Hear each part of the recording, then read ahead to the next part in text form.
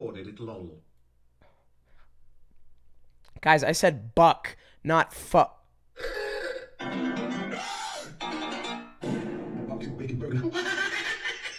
The Carey Rail fan.